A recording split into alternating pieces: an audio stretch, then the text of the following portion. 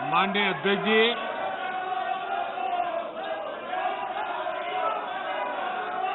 मैं सोच रहा था कि आज सदन में एक उत्साह का वातावरण होगा, क्योंकि बहुत बड़ी मात्रा में हमारी महिला सांसद मंत्री बनी है।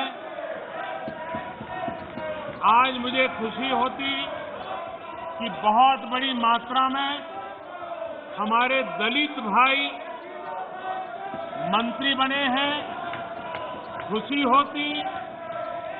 आज हमारे आदिवासी शेड्यूल ट्राइब के सारे साथी बहुत बड़ी मात्रा में मंत्री बने हैं, सबको खुशी होती।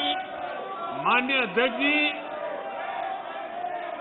इस बार सदन में हमारे साथी सांसद जो किसान परिवार से हैं, ग्रामीण परिवेश के हैं, सामाजिक, आर्थिक रूप से पिछड़े वर्ग से हैं, ओबीसी समाज से हैं, बहुत बड़ी मात्रा में उनको मंत्री परिषद में मौका मिला।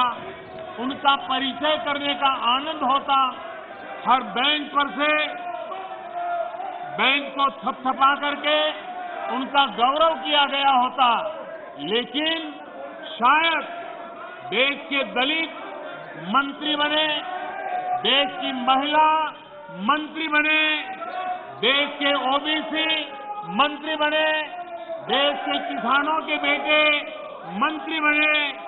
ये बात कुछ लोगों को राज नहीं आती है और इसलिए उनका परिचय तक नहीं होने देते हैं। और इसलिए मान्य अध्यक्ष जी मंत्रिमंडल में नवनियुक्त सदस्यों को लोकसभा में इंट्रोड्यूस समझा जाए।